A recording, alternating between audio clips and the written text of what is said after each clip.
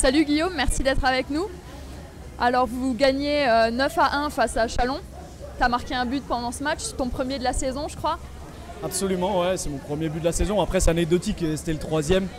Maintenant on a joué contre une équipe de Chalon vraiment affaiblie. Il y a eu beaucoup de suspendus, des absents, ils, tournaient à deux lignes je crois, ils étaient 13.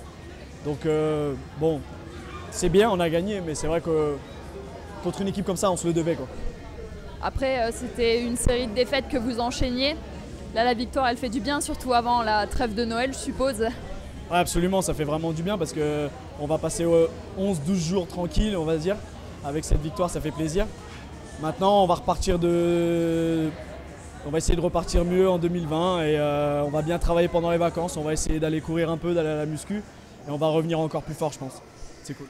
Ok, quelques questions annexes à la D2. Tu es aussi coach du hockey mineur. Comment tu vis ton expérience de coach ici? Bah, C'est cool, ça se passe super bien avec les parents, avec les enfants, c'est génial.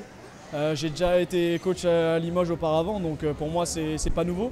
Et euh, non, ça fait plaisir, les mômes ils se donnent à fond, ils écoutent vraiment bien les consignes et il faut que ça continue comme ça. Et je pense que le club comme ça va pouvoir monter grâce aux jeunes, c'est sûr. En tout cas, on a eu des petits retours de parents qui étaient super contents que tu sois le coach de leur enfant. Donc on te félicite et pour ça et pour ton premier but avec nous. Et on te remercie d'avoir fait l'interview avec nous. C'est gentil, merci. Je voudrais dire merci à Makio pour euh, les claquettes du PSG. Voilà, bisous à tous.